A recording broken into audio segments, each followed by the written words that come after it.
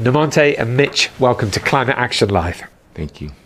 Um, the first thing I want to ask you, uh, Nemonte, and of course Mitch, you're co founders of Ceibo Alliance and Amazon Frontlines. Could you tell us about your mission and your latest work? Somos los cofundadores de CEU y Frontlines. Cuéntanos sobre la misión y nuestro trabajo recién. Gracias eh, por dar esa oportunidad ese espacio.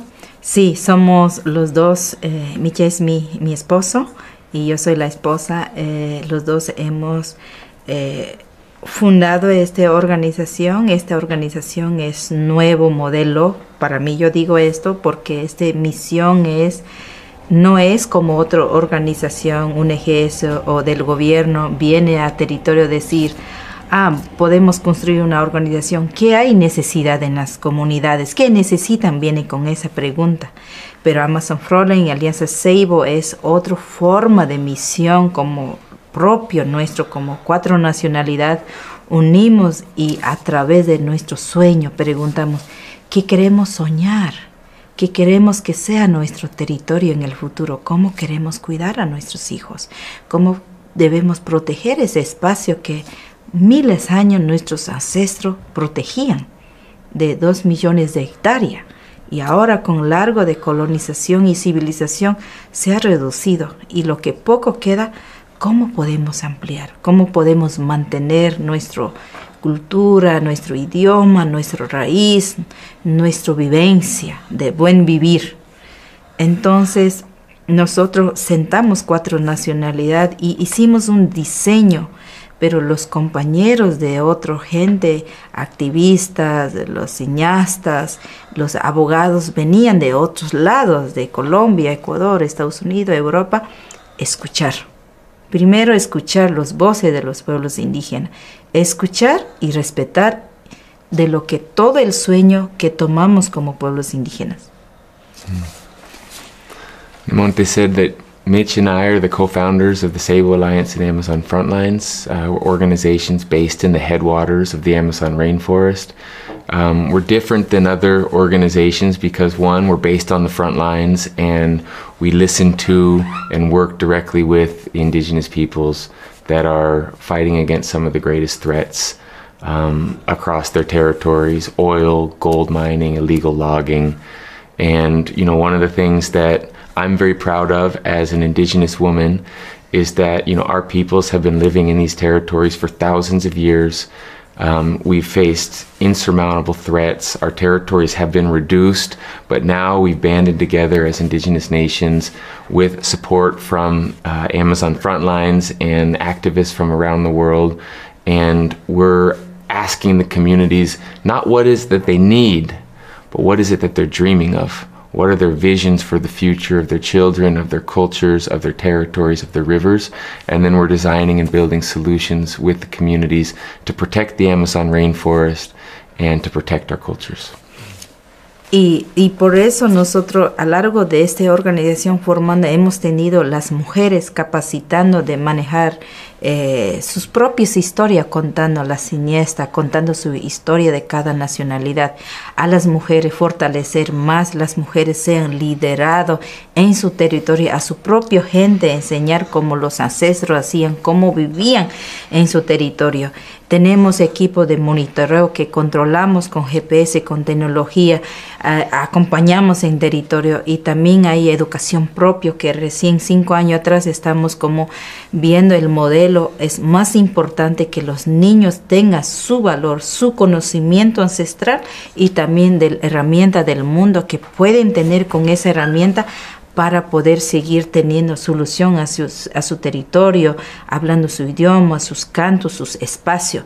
Entonces, a lo largo de eso, nosotros hemos tenido muchos resultados positivos hacia nuestra comunidad y también que el gobierno y el mundo que se respete nuestro territorio. Y también, último, hemos tenido el resultado más importante que es Yasunin, que es ese es territorio ancestral de mi pueblo, Waurani, que, que donde está mi, mi abuela enterrada y mis ancestros que vivían por miles de años. Hasta ahora tenemos dos grupos que son Taguer y Taromenani, viven ahí y nosotros que hemos hecho al Estado ecuatoriano quería seguir em, eh, sacando más petróleo, dijimos, miren, con todos unimos las nacionalidades y los, eh, los líderes, las mujeres y otros activistas, comunidades, líderes, cineastas, todo el socio ecuatoriano, hemos juntado decir, miren, ¿qué queremos hacer? ¿Queremos seguir protegiendo? ¿Cuál es las importantes? ¿La vida o es seguir destruyendo, contaminando, matando a los animales, matando a los pueblos indígenas y también provocando cambio climático, que en el mundo están hablando cambio, crisis climática. Entonces eso hemos nosotros eh, como pueblos indígenas hemos juntado. La unión es muy importante decir, miren, toda sociedad ecuatoriana, la vida podemos decidir para vivir, cuidar, proteger, sí entonces, mayoría de los ecuatorianos votaron sí a la vida. Entonces, así hemos nosotros, no esperaron solo el resultado de los pueblos indígenas, sino articular y juntar. Entonces, así podemos hacer. Ahorita estamos hablando de cambio climático en todo el mundo, desde la Amazonía, desde aquí. Entonces, ¿qué hacen? Solo están escuchando, no hay acción inmediata, no hay acción. Eso yo podría decir como mujer indígena, desde la comunidad aquí ya pueden tomar decisión de hacer cambio, de no consumir, no materializar. Eso significa de parar cambio climático. Amazon Frontlines is working on the front lines to build power with indigenous communities across the headwaters. Um, for hundreds of years, uh, indigenous territories have been stolen from them by the conquistadors, by rubber tappers, oil companies, mining companies. One of the strategies uh, that we're deploying on the front lines is supporting youth, elders, women, communities in recovering their ancestral lands, securing their guardianship. We have a big focus on working with youth and with women because youth are the future decision makers of their peoples and of their territories. And women are the leaders of their people. For thousands of years, women have been leading our peoples in the Amazon, and it's only been since colonialism and the conquest have um, indigenous women's leadership been displaced and marginalized. And we think that uh, Indigenous women's leadership needs to be elevated on the front lines and around the world. We've worked with women to, pr- to promote economic alternatives, to recover traditional healing systems, mm-hmm. uh, and to ensure that women are in places of decision making power for their communities and in the world. Um, I'm really proud too that we have a team that are leveraging technologies and leveraging laws to protect um, our forests from illegal invasion and to be able to meet the most pressing emerging threats facing the forests from mining, from oil, from roads, from logging. Um, and, you know, recently, um, Nemonte said that, you know, we banded together as indigenous peoples across the Ecuadorian Amazon with youth climate activists and activists from the cities to protect one of the most biodiverse forests on the planet. Yasuni, which is the ancestral home of Nemonte, of her people, and of indigenous peoples living in voluntary isolation. Um, the government for years has been exploiting oil in this ancient biodiverse forest, and together we banded together with um, climate activists from around Ecuador to put a referendum on the ballot to, for all of the Ecuadorian people to vote yes for life, no to oil drilling, and we won. We got 60% of the Ecuadorian people to vote against oil drilling in the most biodiverse forests in the world, and we set a precedent for climate democracy globally. And we sent the oil companies packing. Now the job is we have to win the win because, of course, the oil companies don't want to go down lightly, and the government wants to continue. Uh, they want to continue to extract oil, but we're not going to let them. Well, firstly, you know, congratulations on that work. It's absolutely incredible. You know, well done, both of you, and to all of those activists and all of the other people who came together. Uh, it's just an extraordinary, inspirational piece of news, and uh, you know, I hope we wish you the best with the next fights that you have. You know. Okay, so it's June 2024. Okay, what's your assessment of the current situation you know, in the Amazon in terms of protecting it and also protecting our planet and its people. I mean, where, where are we in that journey? What's the, your assessment? Estamos en el mes de junio 2024. ¿Cómo estamos como humanos en este momento, en esta lucha, en este camino para proteger la Amazonía, nuestra madre tierra y el, el- contra el cambio climático? ¿Cómo estamos?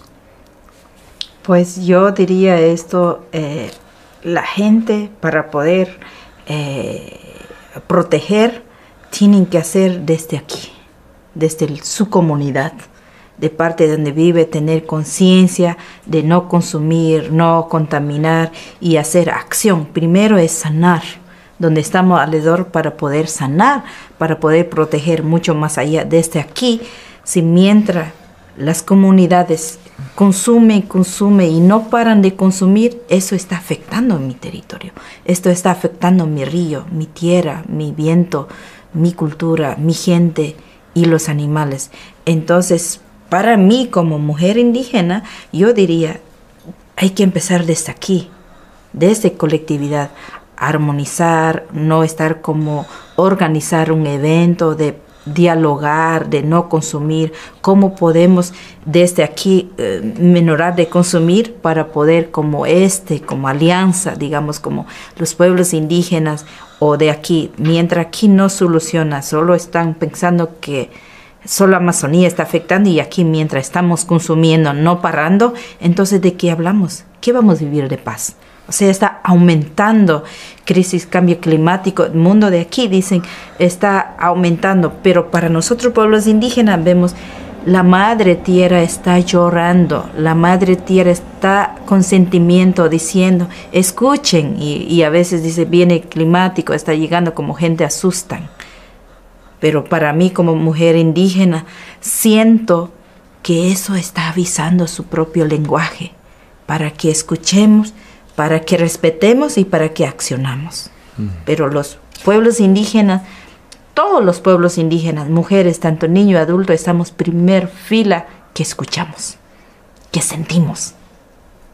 Entonces, eso al revés, necesita gente del mundo entender eso, escuchar, abrazar, dar cariño y respeto. Eso es para mi solución.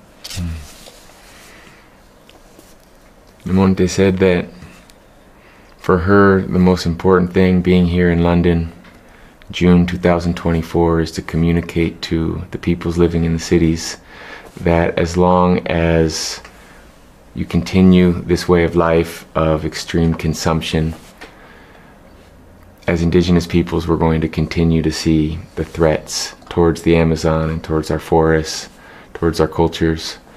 And what I believe is that everyone that's watching this video right now needs to understand that the organizing needs to happen right now, where you are, build community in your communities, and work to um, build a different way of life that can not consume so much from Mother Earth.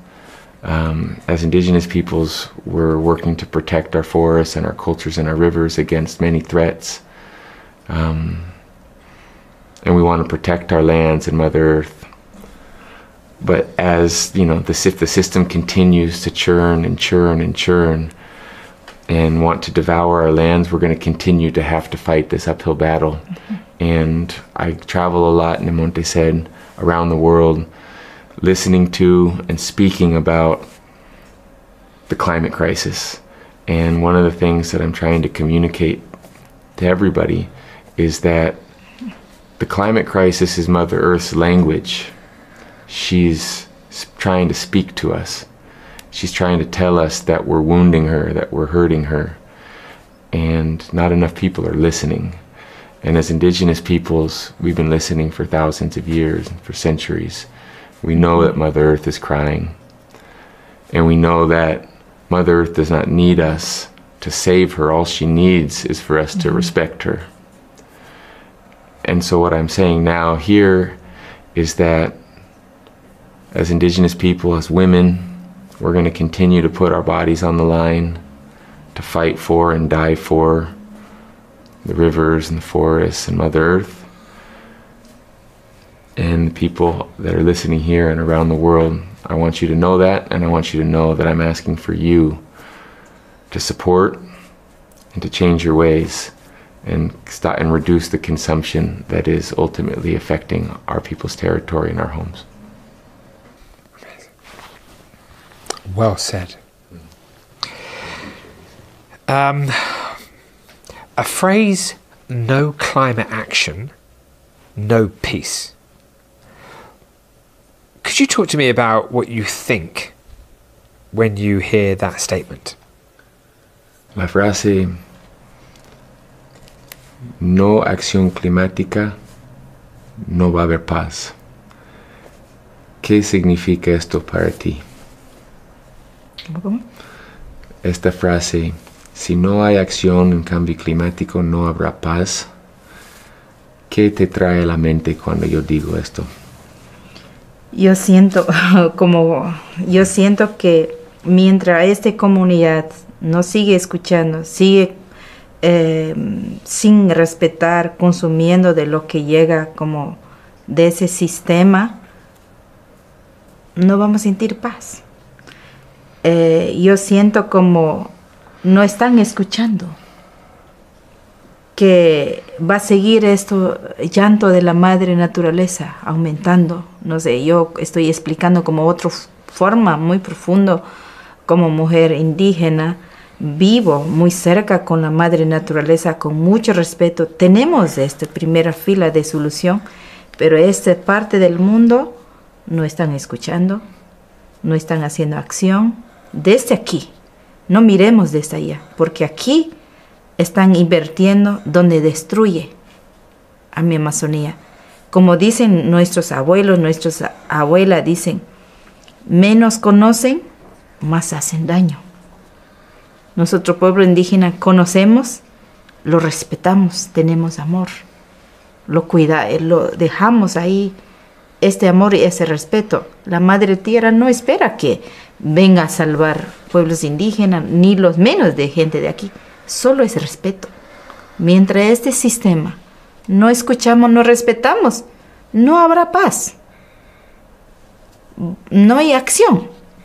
Estamos solo haciendo acción, nosotros gritando, haciendo demanda, eh, saliendo protesta. De lo que hacemos es la vida de todo planeta. Mientras aquí no empiezan a educar a sus hijos, en universidad académicas que deciden y, yo pienso que no habrá paz, siempre habrá el llanto de la madre tierra, aumentará más provocación, más llanto, hasta que la madre tierra nos, nos tragará a nosotros. Entonces ese mensaje yo traigo como, yo siento como mujer, como madre, siento que yo soy la madre tierra yo estoy aquí llorando, yo estoy veniendo de este mensaje, trayendo desde la Amazonía, diciendo, respéteme, deme en amor, deme en abrazo, estoy diciendo. Mientras no escuchan, eh, siguen torturando mi cuerpo, ¿cómo voy a dar alimento a mis hijos? ¿Cómo voy a cuidar? ¿Cómo voy a proteger? Entonces ese es mensaje para todos seres humanos. Si mientras humano, los humanos somos más perversos que no estamos escuchando, estamos destruyendo. La madre es intacta.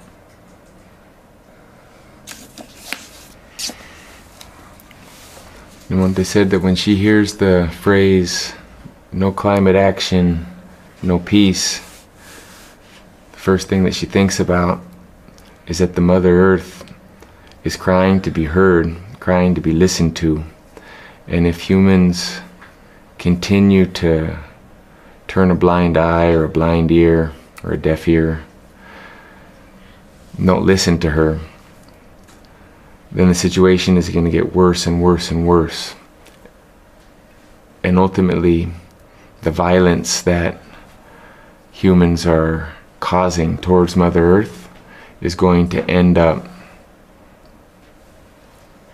in such a way that Mother Earth is going to swallow humanity whole. And for Nemonte, she said that as an indigenous woman, as a mother, she feels like Mother Earth. And the violence that she feels towards her own body as Mother Earth makes it hard, she, she knows, for Mother Earth to continue to, to have the resilience and the strength, the patience and the generosity to continue providing for the people of the earth the food, the air, the water, the, the healing powers of nature.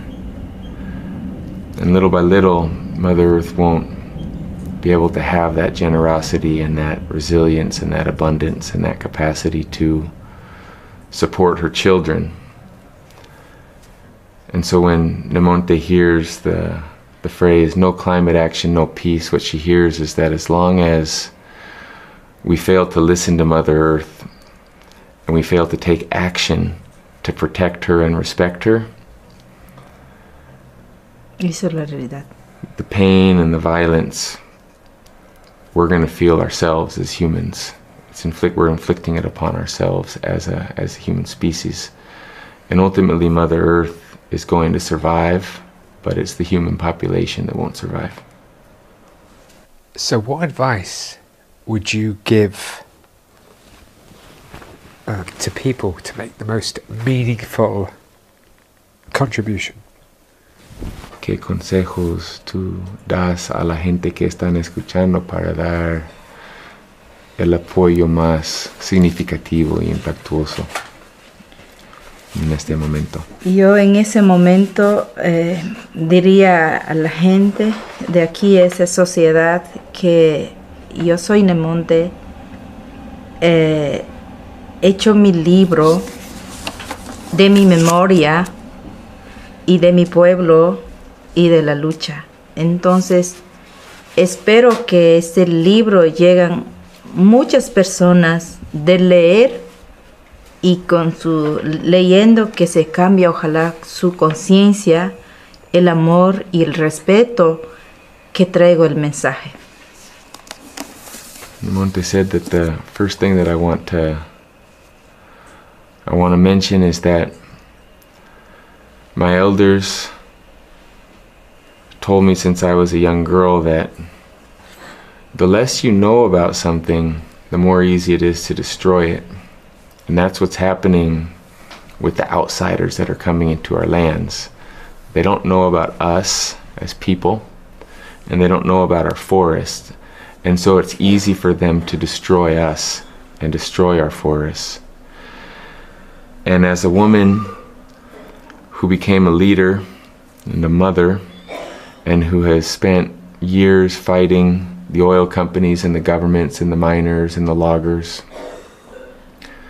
We've attempted to communicate to the world who we are as Waorani people, what our forest means, what it contains, the richness, what our forest gives us. And over the years, I realized that I haven't communicated enough. I haven't communicated the depths of our stories. And so we've written a book together called We Will Not Be Saved, which is the story of Nemonte and her people, her nation, and their connection to the land. And what she hopes is that this story can reach as many people as possible and give the world an opportunity to learn and have more knowledge about indigenous peoples, about our connection with the forest, and about the importance of the forest. And in that way, the story will help society change, people ch- to people to change society, uh, and it will also help um, us communicate to those that wish to destroy us and destroy our forests at least they'll know what they're trying to destroy, and maybe they'll change their minds. And this book, Mitch, uh, you know, we will not be saved. Uh, how, how can people get a copy out of interest? So the book uh, was published on June 6th here in the UK, Um, it's it's only available in the UK right now. It's at all bookstores, um, and it's at you know it's at Waterstones, and you can buy it online. Um, and it's going to be published um, in six other languages, um, and in the US on September 17th. Amazing. Well, congratulations to both of you for Felicidades. Amazing. a los book, and I can't wait to Gracias. read a copy. The final thing that I want to ask This is, you. a, this is a gift to you. oh wow! Yeah. Oh wow, that's amazing. Um, so, if people would like to support your work and the things that you're doing in the Amazon rainforests, how can they do that? ¿Cómo pueden apoyar a su trabajo? Pues em, esto es muy importante eh, lo que preguntan, ¿no? A veces muchos dicen, ¿cómo pueden apoyar? Es como muy importante esa pregunta para mí, es como solarizar.